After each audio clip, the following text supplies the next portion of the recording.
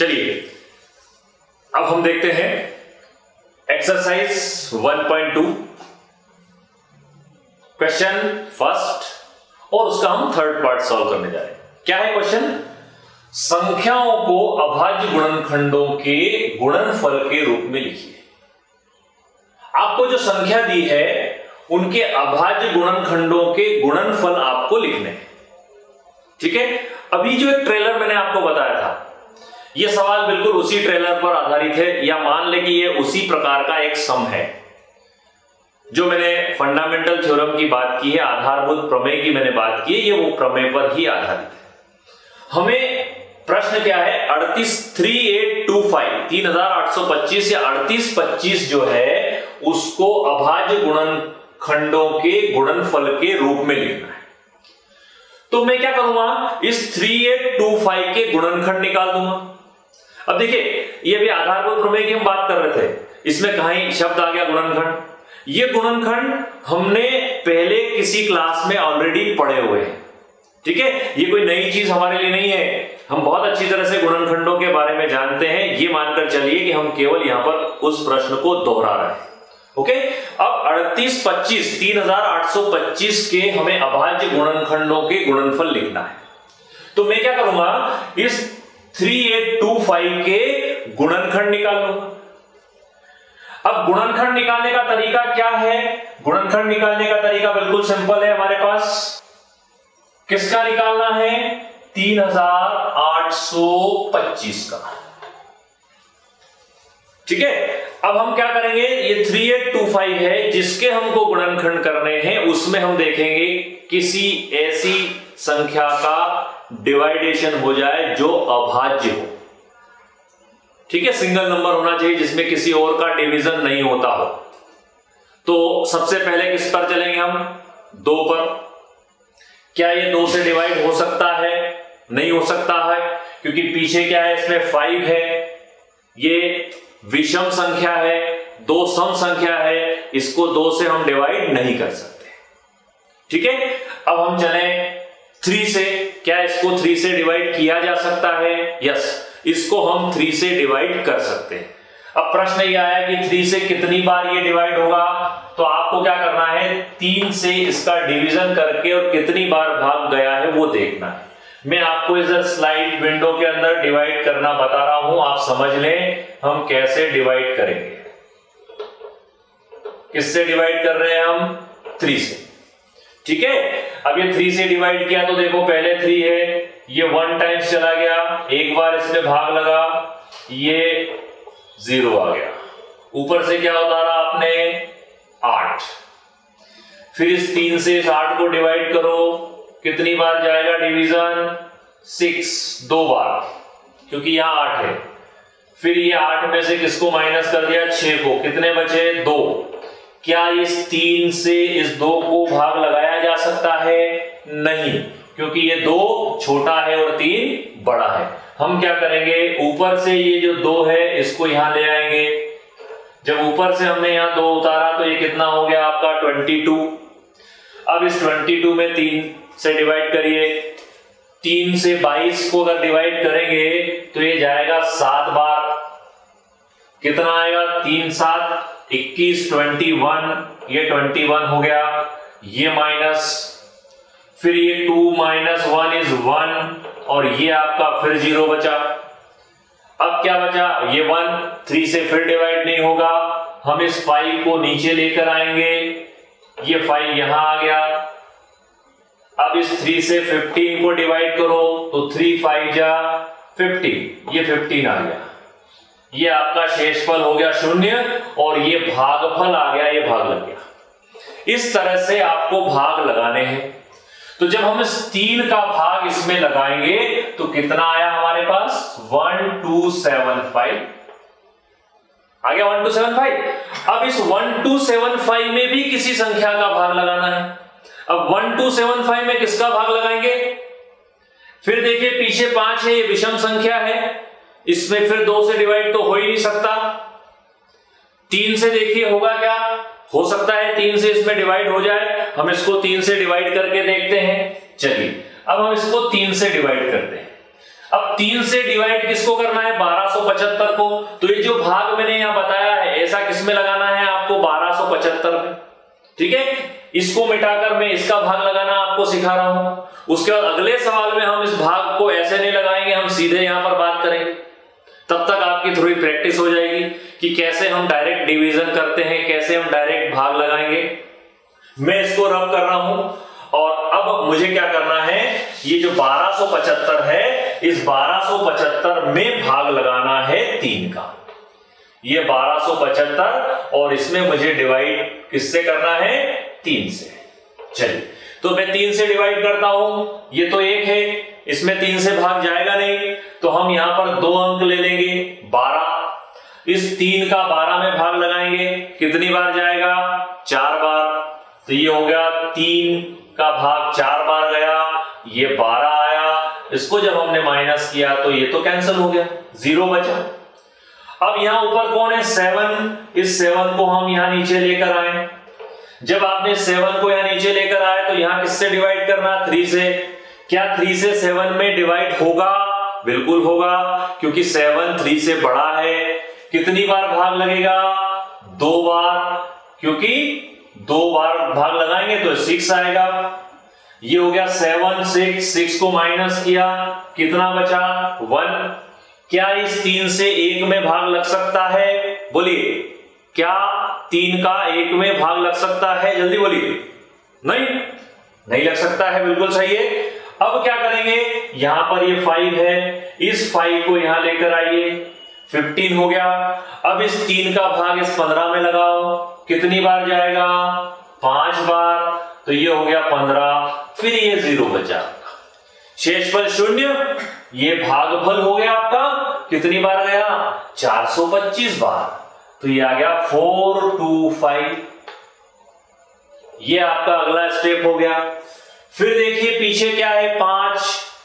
अब फिर किससे इसको डिवाइड किया जाएगा? इसको देखिए क्या थ्री से डिवाइड होता है तो ठीक है, नहीं तो आगे बढ़ जाइए। ये 425 पूर्ण रूप से तीन से डिवाइड नहीं होगा। अब जब ये तीन से डिवाइड नहीं होगा तो किससे डिवाइड करेंगे? चार से भी नहीं होने वाला है, क्योंकि ये भी विषम संख्या है और चार कौन सी है? सम है, और चार से तो हम डिवाइड करेंगे नहीं, क्योंकि हमको कौन से गुणनखंड चाहिए? अभाज्य। जिसमें किसी और का भाग नहीं लगता हो, चार हम लेंगे नहीं, क्योंकि चार में दो का भाग लग जाता है। अब हम लेते हैं यहाँ पर, देखिए, तीन में क्या होगा वो भी देख लीजिए। तीन से इसको डिवाइड नहीं किया जा सकता है। है ना? ये है फोर टू फाइव मैं इसको थ्री से डिवाइड करता हूँ। ठीक है? ये आपको बताने के लिए कर रहा हूँ। वैसे थ्री से इसको हम डिवाइड नहीं कर सकते हैं। अब कैसे करेंगे? ये फोर है। तो ये एक बार गया। ये तीन आया यहाँ पर। माइनस कितना बचा? वन। तीन से एक में भागने लगेगा, इस दो को नीचे लेकर आए। कितना बना? बारह। इस तीन से बारह को डिवाइड करिए। चार बार जाएगा और ये बारह आ गया। कुछ नहीं बचा। ऊपर से किसको उतारा? फाइव को। अब थ्री से फाइव को डिवाइड करिए। तो थ्री वन जा थ्री माइनस किया, कितना बचा? टू अब ये टू आपका शेषफल आ गया रिमाइंडर आ गया। अब जब शेषफल आ गया, आगे हमारे पास संख्या नहीं नहीं तो हम उतार कर इसको सॉल्व करते अब पूर्ण रूप से इसको विभाजित नहीं किया जा सकता है। ठीक है? तो हम यहाँ तीन नहीं लेंगे। तीन नहीं लेंगे तो एक किससे डिवाइड होगा? वो हमें देखना है। अब ये डिवीज़न होगा आपका फाइव से। किससे डिवाइड होगा? ये डिवीज़न होगा आपका फाइव से। देखिए हम पाँच से इसको डिवाइड करें। क्या होगा पाँच से डिवाइड करने पर? ये सारे एक एक डिवीज़न आपको मैं यहाँ पर दिखा रहा हूँ। इसलिए, क्योंकि ये पहला सम है आपका।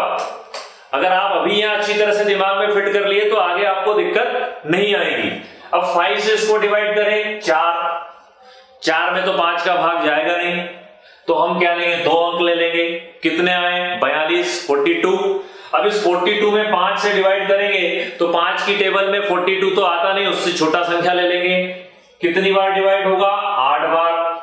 कितना आएगा? चालीस फाइव एट जा फोर्टी ये चालीस आ गया, इसको माइनस किया, दो में से ज़ीरो गए तो दो, और ये ज़ीरो बचा आपका. अब इस फाइव से दो, क्या पाँच से डिवाइड होगा? दो. नहीं होगा, क्योंकि ये छोटा है. अब हम यहाँ से फाइव को नीचे ले आएँगे। जब इस फाइव को हम नीचे ले आएँगे तो यहाँ कितना बन गया आपका ट्वेंटी फाइव अब इस फाइव से ट्वेंटी फाइव को डिवाइड करिए। कितनी बार डिवाइड हुआ? फाइव टाइम्स ये फिर ट्वेंटी फाइव आ गया और आपका शेषफल शून्य बचा। कितना आए कितनी बार डिवाइड हुआ? 85 तो यहाँ कितना आ गया आपका? 85 आ गया। आ गया 85 अब हम फिर चले।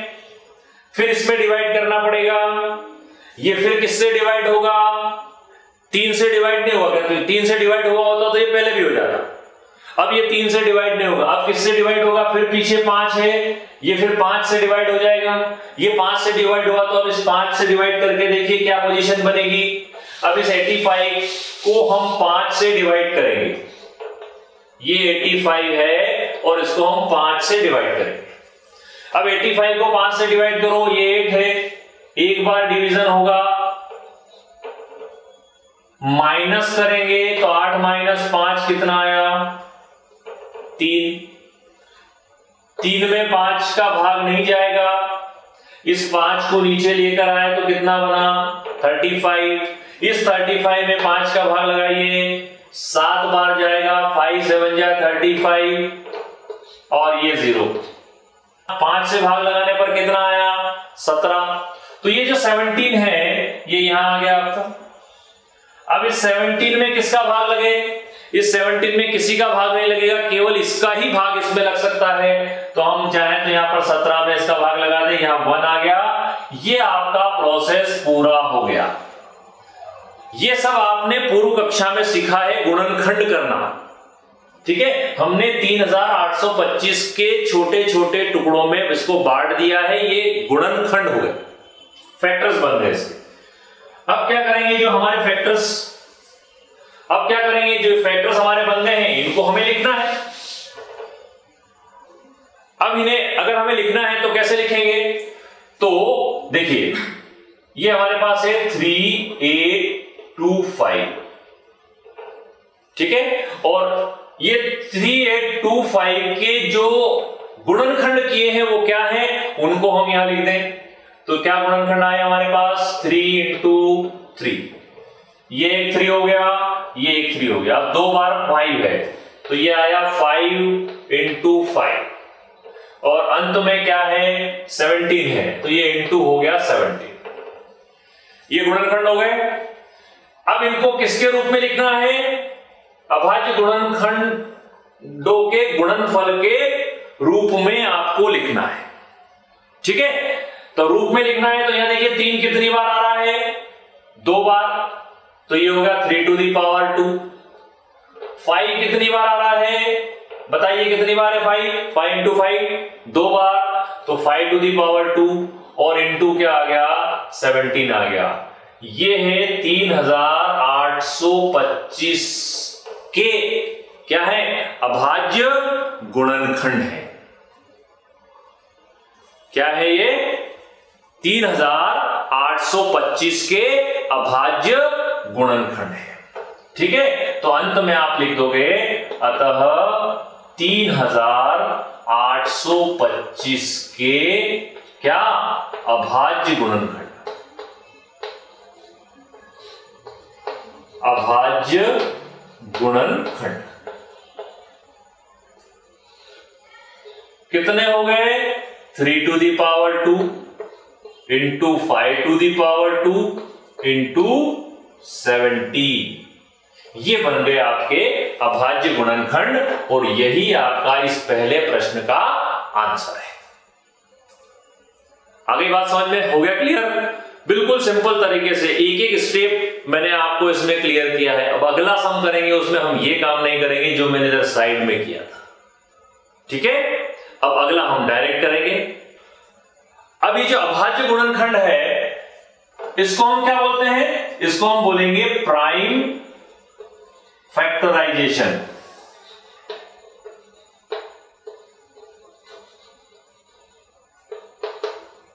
किसका प्राइम प्राइम फैक्टराइजेशन है?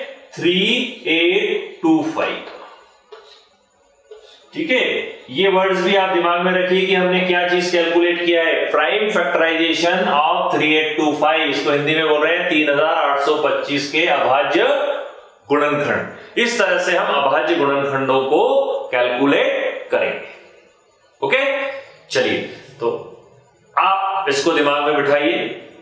एक बार इसका रीडिंग कर लीजिए, इसको समझ लीजिए। उसके बाद हम चलते हैं इसी क्वेश्चन के एक अगले पार्ट में। क्वेश्चन नंबर वन इसका पार्ट अगला जिसमें अब हम डायरेक्ट सॉल्व करेंगे। ओके तो तैयार रहिए, हम अब उस प्रश्न को करने जा रहे हैं।